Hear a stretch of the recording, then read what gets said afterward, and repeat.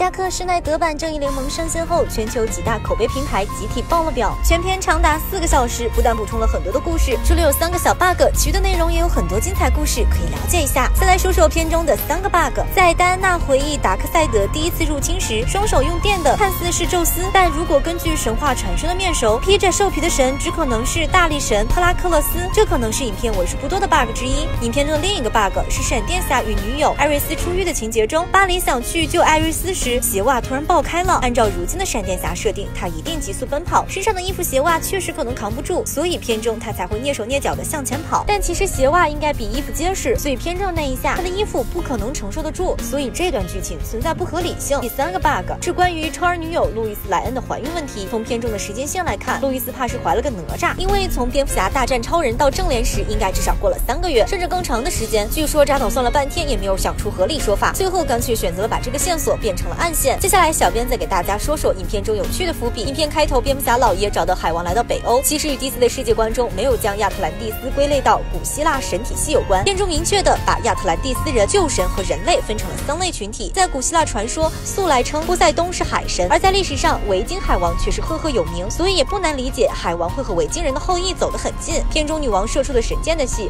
则是结合了历史的杜撰，在现存的古希腊的遗迹中，确实没有亚马逊一族的烽火台，但以弗所神庙据说说是亚马逊一族修建，用于供奉的狩猎女神阿尔特尼斯的，所以片中的神剑叫阿尔特尼斯之剑。漫画中命运三女神是与亚马逊一族统住天堂岛的关系，所以不排除女侠找到的地宫中不有记载其他大事件的密室。在扎导版的故事中，很多人物和故事都发生在歌坛，歌坛和大都会都被认为是现实中的曼哈顿的化身。在 DC 美国地图上，三座城市也离得非常近。研究超人飞船的是在星辰实验室的歌坛分部，原本钢骨一家是住在底特律，在扎导版中被搬到了歌坛。星辰实验室诞生过不少英雄和反派，但不包括郑恺扮演的蔡瑞安。在剧版里，闪电侠的战袍收纳戒指就是蔡瑞安开发的。扎导版的蔡瑞安也许是个独立的角色，应该是糅合了二代原子侠雷帕尔默以及其他原子侠的故事。反派荒原狼是片中最古老的角色之一，他是达克赛德的叔叔，也是创世新天赋的叔叔。但荒原狼却很早就决定跟着达克赛德讨生活，很早以前就舍弃了自己的本名，也不记得自己原本叫什么。对这段历史，DC 其实并没有解释的绝对清楚。不过荒原狼最擅长的兵器不是片中那把不扛动的大斧，他其实是个剑术高手。在新五十二宇宙的故事中，